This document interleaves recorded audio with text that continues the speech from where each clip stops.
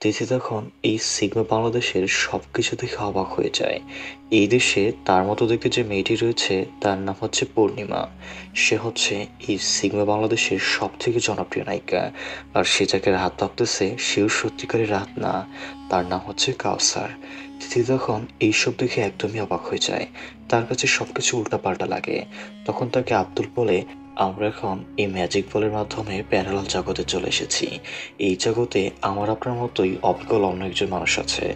কিন্তু আমরা সেই দেশে যে বিষয় বা পরিস্থিতিতে ছিলাম, এই দেশে তার সম্পূর্ণ উল্টো। এটা সম্পূর্ণ ভিন্ন একটা জগৎ।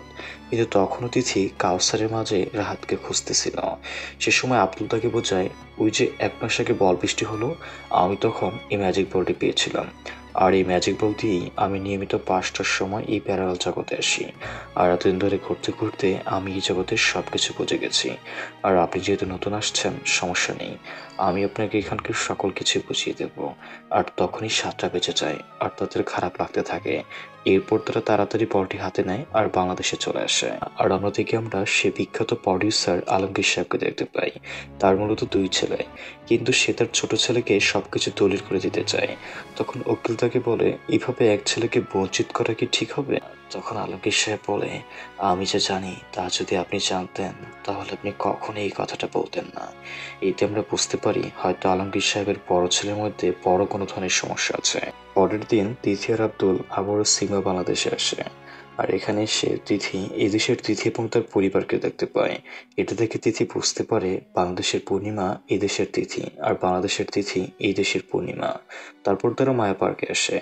আর একটা কাপড়কে দেখে বলে, এদেশের দেশের মানুষের মনে অনেক ভালোবাসা। আর আমাদের বাংলাদেশে একজন উপরে উঠতে গেলে অন্যজন নিচে থেকে টানে।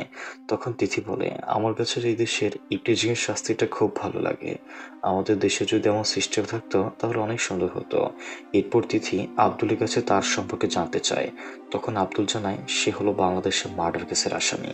কিছুদিন পরই তার পাশে কিন্তু সে গত এক মাস আগে বল বৃষ্টিতেই ম্যাজিক বলটি পেয়েছে। আর তারপর থেকে সে প্রতিদিন পাঁচটা এখানে আসে। তার কাছে এই জীবনটা অনেক ভালো লাগে। তাই সে এখানেই নতুন করে বাঁচতে চায়। আর তিথি যেহেতু এখানে নতুন আসছে, তাই সেখানকার সব কিছু তাকে বুঝিয়ে দেবে। তারপর সে তিথিকে মোবাইলে একজনের ছবি দেখায়। এই লোকটি হলো এই সিগমা বাংলাদেশের একজন সংসদ সদস্য। আর ইনি হলো আব্দুলের কপি যার নাম হলো ইলিয়াস। তাই আব্দুলের স্বপ্ন সে যেভাবেই হোক এই ইলিয়াসের জায়গাটা নেবে আর এতে সে জাতীয় সংসদ সদস্য হবে। আর এই বিষয়গুলো সে তিথিকে বলে। এরপর তার একটি কফি হাউসে যায়। তিথি তখন ভালো করে খেয়াল করে, এটা হলো জ্যানিস ক্যাফি। তিথি তখন বলে, আমার কাছে তো কোনো টাকা নেই, তাহলে আমরা কফি কীভাবে খাব? তখন আব্দুল তাকে একটি এটিএম বুথে নিয়ে যায়। যেটার নাম হলো ফ্রি মানি এটিএম বুথ এই বুথ থেকে অসহায় গরিব মানুষেরা ফ্রিতে টাকা তুলতে পারতো। আব্দুল তখন নিজেকে অসহায় দাবি করে খাওয়ার জন্য টাকা চায়। আর বুথ থেকে অটোমেটিকলি দুই হাজার টাকা আসে। এই বুথ থেকে একজন গরিব মানুষ দিনে শুধুমাত্র একবার টাকা তুলতে পারবে। তারপর তিথিও সেভাবে টাকা তোলে। আর তারা চলে যায় কফি হাউসে। সেখানে গিয়ে যদি খেয়াল করে, এখানেও সে একই মালিক, যে কিনা বাংলাদেশি মালিক ছিল। তবে অদ্ভুত ব্যাপার হলো, এখানকার মালিক তার ভালোবাসার জানিকে পেয়েছে এবং তারা দুজন দুজনকে অনেক ভালোবাসে। এতে দিদি বুঝতে পারে বাংলাদেশের মানুষের যেসব স্বপ্ন ছিল, সেসব স্বপ্নের এক বাস্তব রূপ তুলে ধরা হয়েছে এই সিগমা বাংলাদেশে। আর এদিকে অনেকক্ষণ ধরেই তিথি দরজা না খোলায় তার বাবা শাবল দিয়ে দরজা ভাঙে আর ভেতরে প্রবেশ করে। তখনই বারান্দা থেকে বের হয়ে আসে তিথি। তখন তার মা তাকে জড়িয়ে ধরে। আর সে সময় তিথি কিছুটা অন্য মনস্ক ছিল। আর এই ব্যাপারটি একটু মনে রাখবেন, যা ভিডিওর শেষের দিকে মিলে যাবে। এরপর আমরা দেখতে পাই আব্দুল তিথিকে জানায়, আমি এই সিগমা বাংলাদেশে সারা জীবনের জন্য থাকতে চাই, আর এই জন্য সে ইলিয়াসকে মেরে ফেলতে চায়। কারণ সে যদি ইলিয়াসকে মারতে পারে তাহলে সে সিগমা বাংলাদেশে থেকে যেতে পারবে।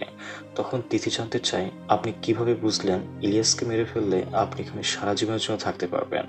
তখন আব্দুল জানায়, আমি একদিন সাতটা বাজার এক আগে বলটি আমার হাত থেকে ফেলে দিয়েছিলাম, আর এই জন্য আমি সেদিন বাংলাদেশে যাইনি তবে সাতটা এক মিনিটে আমার খুব কষ্ট হচ্ছিল।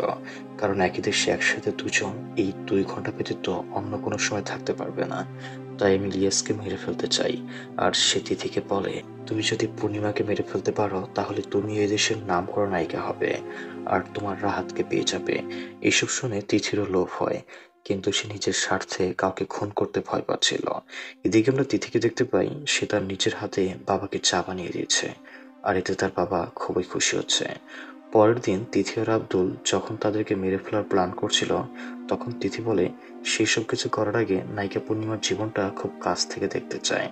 তাই সে নায়িকা পূর্ণিমার বাড়িতে প্রবেশ করে। তবে এখানে লক্ষণীয় বিষয় হলো, বাংলাদেশের ছাত্রনেতা জামশেদ ভাই এই সিগমা বাংলাদেশে দারোয়ানের চাকরি করে।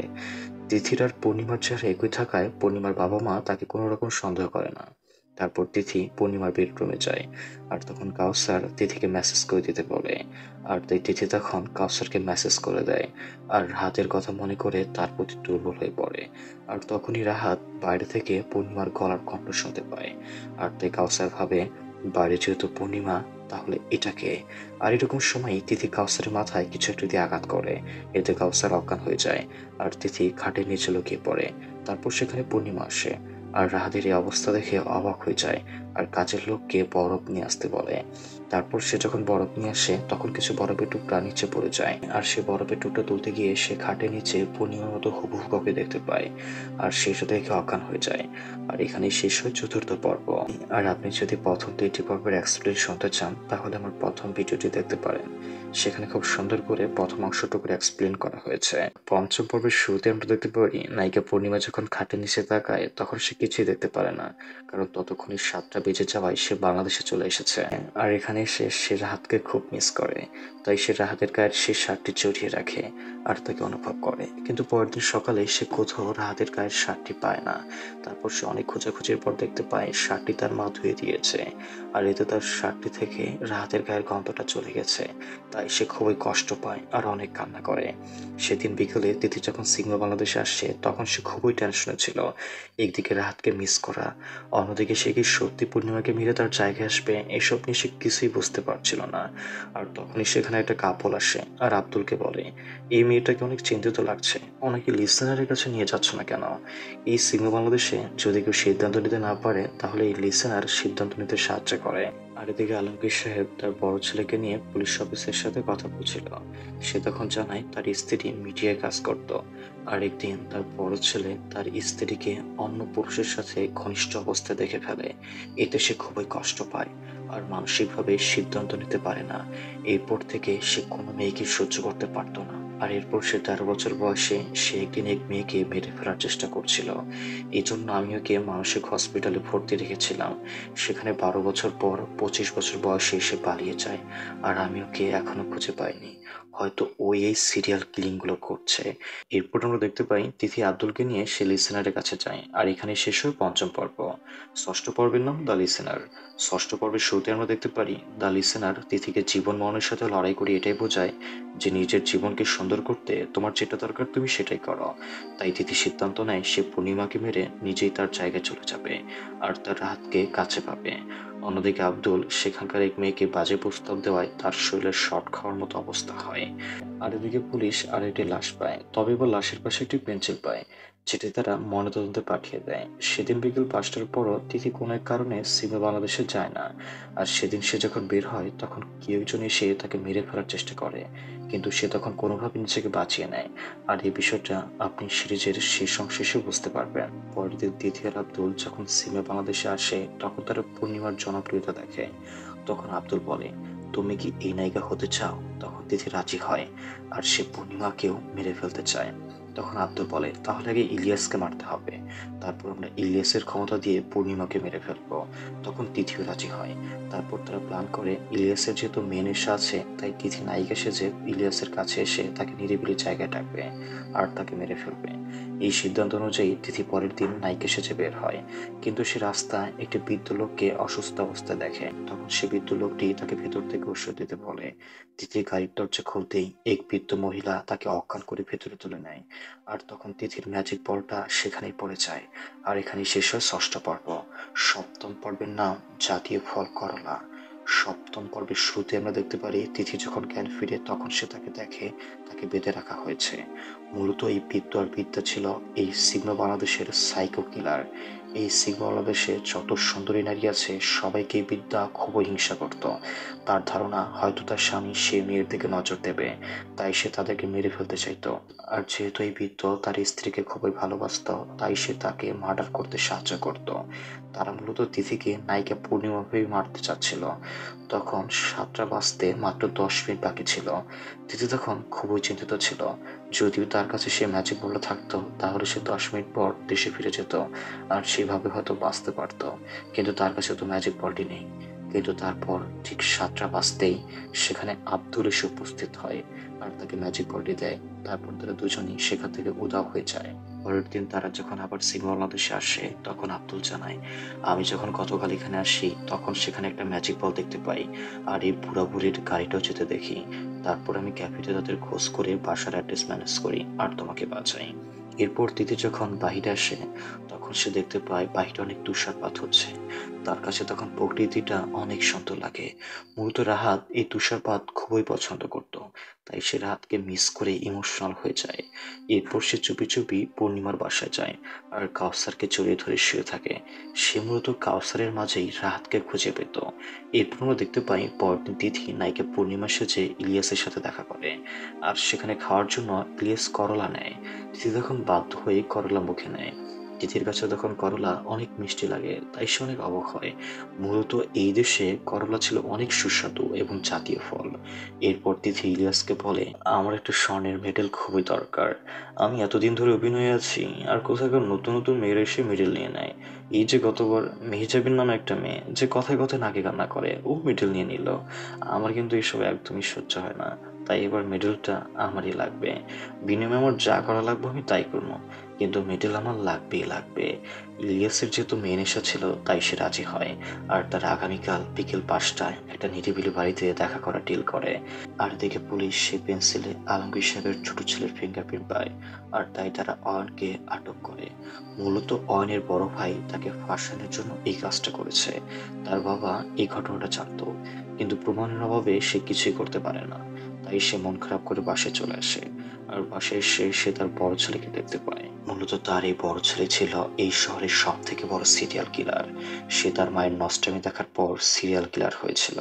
সে তখন বলে যে সব মেয়েরা অন্যের সংসার ভেঙে দেয়, একাধিক পুরুষের সাথে সম্পর্ক করে, তারা আমার কাছে কুৎসিত। তাই আমি তাদেরকে খুন করে কুৎসিত মার্কস পরিয়ে দেই। আর তার বাবা তার এই বিষয়টা পুলিশের কাছে জানানোর জন্য সে ছোট ভাইকে ফাঁসিয়েছে। তখন সে তার বাবাকে বলে বাবা, আমি এখন ইচ্ছাপুর থেকে অন্য কোথাও চলে যাব, তাই আমাকে বিদায় দাও। এটা বলে সে তার বাবাকে জড়িয়ে ধরে আর তার বাবার বুকে ছুরি চালিয়ে দেয়, কারণ তার বাবা তার এই খবরটা পুলিশকে জানিয়েছে। আর এই জন্য এখন আব্দুল একেবারে সিগমা বাংলাদেশে চলে যাবে। আর সে এখন সেখানে গিয়ে সিরিয়াল কিলিং করবে। আর এই জন্য সে তিথির কাছে মিথ্যা পরিচয় দিয়েছে। আর সেখানে গিয়ে সর্বপ্রথম তিথিকেই খুন করবে, কারণ তিথিও অন্যের সংসার ভাঙতে চাচ্ছে। তাই তিথি তার কাছে একজন কুচ্ছিত নারী। আর সে যেহেতু এখন সিনেমা বাংলাদেশের সিরিয়াল কিলার হবে, তাই সে সেখানকার সেই পুরো বুড়িকেও মেরে ফেলেছে। কারণ এক দেশে দুই রকম সিরিয়াল কিলার থাকতে পারে না। আর এখানেই শেষ হয় সপ্তম পর্ব। অষ্টম পর্বের নাম জীবন চুরি। অষ্টম পর্বের শুরুতে দেখা যায়, তিথি একটি দোকান থেকে দড়ি, টেপ এবং একটা করাত কিনে। এরপর আমরা দেখতে পাই তিথি তার পরিকল্পনা মতো ইলিয়াসকে নিয়ে সে নিরিবালি বাড়িতে যায়। তারপর তারা কিছুক্ষণ গল্প করে। এরপর ইলিয়াস তাকে নিয়ে ভেতরে রুমে যায় আর তাকে স্পর্শ করতে থাকে। আর তখনই তিথি তার কাছ থেকে একটা অজ্ঞান করার স্প্রে বের করে ইলিয়াসের নাকে দেওয়ার চেষ্টা করে। কিন্তু ইলিয়াস তাকে বাধা দেয় আর সে তিথিকেই অজ্ঞান করে ফেলে। এরপর যখন ইলিয়াস দরজা খোলে, তখন আব্দুল এসে ইলিয়াসের নাকে স্প্রে মেরে তাকে অজ্ঞান করে দেয়। তারপর সে ইলিয়াসকে মেরে ফেলে। আর তিথি ঘুম থেকে উঠে দেখে প্রায় সাতটা বেজে গেছে।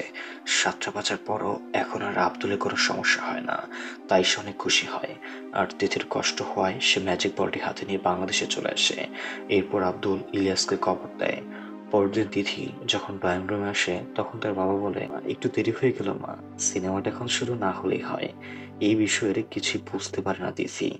আর এদিকে আব্দুল এখন এই সিনেমা বাংলাদেশের জাতীয় সংসদ সদস্য হয়ে গেছে। সে তখন একটু সার্চ করে দেখে এই দেশে তার বাবা তাকে আলাদা করে রেখেছে। আর সে শুধু তার ছোট ভাইকে আদর করে। তাই সে তার বাবার সাথে দেখা করতে চায়। কিন্তু তার বাবা তার সাথে কথা বলতে চায় না। তার বাবা মূলত তার কাছ থেকে আলাদা থাকে আর একটি ফলের দোকান চালায়। কারণ ইলিয়াস খুবই খারাপ লোক ছিল। সে শুধু মেয়েদের সাথে খারাপ কাজ করতো আর বাজে অফার দিত। তখন ইলিয়াস তাকে জোর করে বাড়িতে আনতে চায়। কিন্তু তার বাবা তার সাথে যেতে চায় না। তখন তাদের চোরাচুরির এক পর্যায়ে তার বাবার কাছে থাকা ফল কাটার ছুরি ডাকাতে ইলিয়াস মারা যায়। আর এখানেই আব্দুলের পর্ব শেষ হয়। আর এদিকে তিথি একেবারে সিনেমা বাংলাদেশে আসার জন্য প্রস্তুতি নিতে থাকে।